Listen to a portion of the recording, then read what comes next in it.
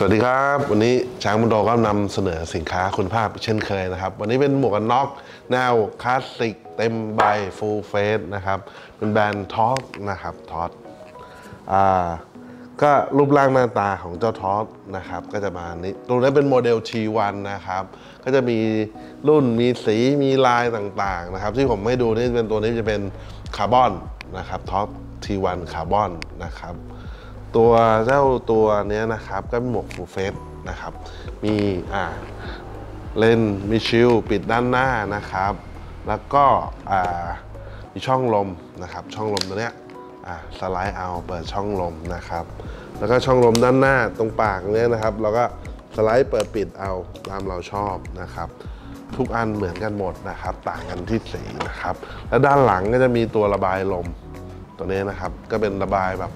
ให้ลมแบบออกถ่ายเทจากหมวกไม่ไม่ได้รู้สึกอึดอัดรู้สึกอะไรเงี้ยนะครับผมตัวชิลตัวชิลนะครับ เราก็เวลาเราขึ้นเราก็ยกได้เลย แล้วเวลาเราจะล็อกตัวนี้ก็จะมีตัวล็อกให้อ่าดันปุ๊บก็ยกไม่ขึ้นแล้วครับ ถ้ายกขึ้นแตกแน่ครับแล้วก็อย่างอย่างตัวภายในของเจ้าตัว T1 เนี่ยนะครับ สายรัดคางเนี่ยก็จะเป็นดีดีลิงนะครับผมก็แล้วนวมภายในก็จะมีความเป็นแบบ คลาสสิกเรโทรนะครับก็เป็นหนังแบบเป็นหนังเขาเรียกเป็นหนังกลับอ่านะครับก็เป็นบุแล้วก็มีหนังเจาะรูนะครับ ก็สวยงามนะครับ แล้วก็ถอดซักล้างได้นะครับ เป็นกระดุมอย่างนี้นะครับ เป็นกระดุมปลดแล้วก็ปิดเข้าไปนะครับแล้วก็อย่างอย่างพวกนี้ก็จะดูบุสวยงามนะครับ อย่างอย่างตัวตัวที่ผมถืออยู่นะอ่าเป็นคาร์บอนนะครับ น้ำหนักก็เบา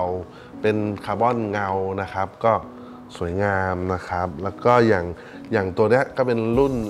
พิเศษนะครับ เป็นเป็นไม่ใช่รุ่นพิเศษก็คือเป็นรุ่นอีกรุ่นหนึ่งนะครับเรียกรุ่นสปุกนิกนะครับ ก็จะเป็นอ่า CCCP นะครับ แล้วก็จะเป็นแบบอ่า shield ที่ให้มาเนี่ยจะเป็น shield แบบ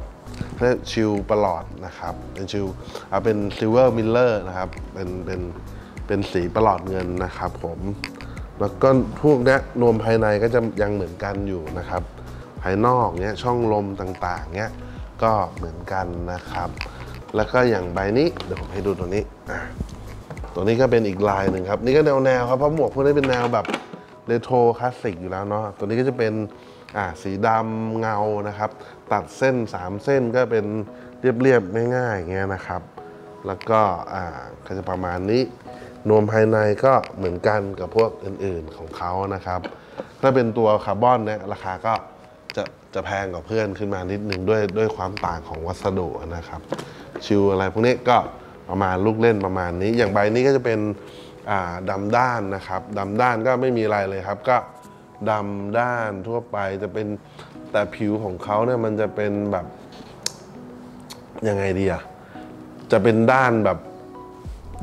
มันเหมือนเกือบเกิดจะเป็นรับเบอร์นิดๆนะครับจะอธิบายยังไงดีอ่ามันจะเป็นด้านๆไปเลยนะครับ ประมาณนั้น ก็เรื่องมอกนะครับ ตัวทอสเงี้ยนะครับ ก็มีมอกนะครับ มี DOT นะครับผมประมาณนี้มี ECE 22ขีด05 นะครับผมเราก็เลือกใช้ได้แล้วนะครับผมยังไงก็สนใจก็ สอบถามเข้ามาได้นะครับ ทางช่องทางต่างๆของร้านนะครับ จะเป็น Facebook ช้างโมโตนะครับ เว็บไซต์ช้างโมโต .com นะครับ Line แอดช้างโมโตแล้วก็ช้างโมโตชาแนลทาง YouTube ด้วยนะครับ ฝากติดตามฝากแนะนำกันเข้าด้วยนะครับผมแล้วพบกันใหม่ในคลิปต่อ ๆ ไปนะครับ สวัสดีครับ